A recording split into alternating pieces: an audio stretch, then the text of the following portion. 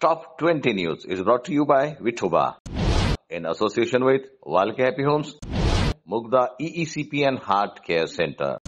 नमस्कार स्वागत है आपका एनबीसी न्यूज़ पर। आज की टॉप 20 खबरों के लिए मैं हूँ आपके साथ रत्नाकर। राजस्थान के मुख्यमंत्री अशोक गहलोत आज जोधपुर की सरदारपुरा विधानसभा सीट से नामांकन भरेंगे।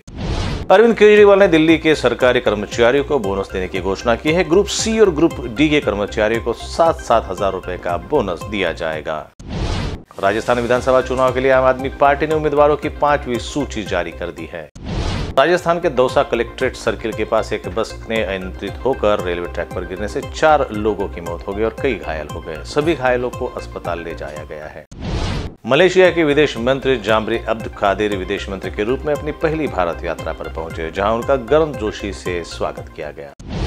मध्य प्रदेश विधानसभा चुनाव प्रचार में से बसपा, सुप्रीमो मायावती की एंट्री होने जा रही है। मायावती आज दो रैलियों को संबोधित करेंगी। दुनिया भर में वायु प्रदूषण की वजह से हर साल लाखों लोगों को जान गंवानी पड़ती है। इसी बीच एयर क्वालिटी इंडेक्स ने दुनिया के 10 सबसे प्रदूषित शहरों की लिस्ट जारी की है। बुज़ुर्गों की तीर्थ दर्शन योजना को लेकर तीन राज्यों के मुख्यमंत्री आपस में भिड़ गए हैं। हरियाणा के मुख्यमंत्री मनोहर लाल खट्टर दिल्ली के मुख्यमंत्री अरविंद केजरीवाल और मध्य प्रदेश के मुख्यमंत्री शिवराज सिंह चौहान के बीच सोशल मीडिया पर तू तू मैं मैं हो रही है। हफ़्ते के पहले कारोबारी दिन भारतीय शेयर बाज़ार ज़बरदस्त उछाल के साथ खुला है। घरेलू बाज़ार की ओपनिंग में शानदार तेज़ी बनी हुई है। सेंसेक्स 400 पॉइंट से ज़्यादा चढ़कर तो निफ्टी 19,300 के पार जाकर खुलने में कामयाब रहा है। एमआईडीसी की एक सहायक अभियंता को एक करोड़ रुपए की रिश्वत लेते रंगे हाथों पकड़ा गया है। उस पर भ्रष्टाचार निवारण अधिनियम के तहत मामला दर्ज कराया गया है। एनसीपी नेता एकनाथ खड़से को दिल का दौरा पड़ा था। आज एनसीपी अध्यक्ष शरद पवार खड़से से मिलने के लिए बॉम्बे हॉस्पिटल पहुँचे। बीएमसी द्वारा भी हवा की गुणवत्ता को ठीक करने के लिए कदम उठाए जा रहे हैं। बीएमसी हवा की गुणवत्ता को ठीक करने के लिए हर रोज सड़कों पर पानी का छिड़काव कर रही है। महाराष्ट्र के वन मंत्री सुधीर मुनगंटीवार ने बड़ा बयान दिया है। उन्होंने कहा है कि नशे के कारोबार में शामिल किसी भी नेता को कुचल देना चाहिए। जो लोग विधायक सांसद बनेंगे, उनके परिवार में से किसी के पास ड्रग लाइसेंस नहीं होने चाहिए। उद्योगपति मुकेश अंबानी को धमकी देने वाले दो आरोपियों को मुंबई पुलिस ने गिरफ़्तार कर लिया है। मुकेश अंबानी को धमकी भरे ईमेल भेजने वाला फर्जी नाम का इस्तेमाल कर रहा था। महाराष्ट्र के मुख्यमंत्री एकनाथ शिंदे ने अजित पवार गुट के आंदोलन पर नाराज़गी जताई है।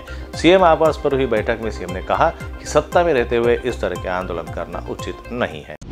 कॉफ़ी विद करण का अगला एपिसोड जल्द ही आने वाला है। इस एपिसोड की गेस्ट सारा अली खान और अनन्या पांडे होगी। कंगना रनौत की तेजस का हाल बेहद बुरा नज़र आ रहा है। फ़िल्म के कमाई के मामले में धाराशयी होती नज़र आ रही है। द जैज सिंगर दुनिया की पहली बोलती फ़िल्म थी। इस फ़िल्म इतिहास रचा था। यह म्यूजिकल ड्रामा फ़िल्म थी। इसका निर्देशन एलन क्रॉसलैंड ने किया था। एलविस यादव रेव पार्टी मामले में अब एक नया मोड़ सामने आया है। इस केस को लेकर मशहूर सिंगर फैजल पुरिया को भी नोटिस भेज दिया गया है। सलमान खान और कैटरीना कैफ टाइगर ज़िंदा है कि छह सालों के बाद टाइगर थ्री लेकर आ रहे हैं, जिसको लेकर दोनों के ही चाहने वाले काफ़ी एक्साइटेड है।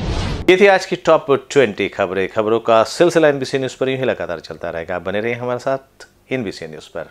नमस्कार।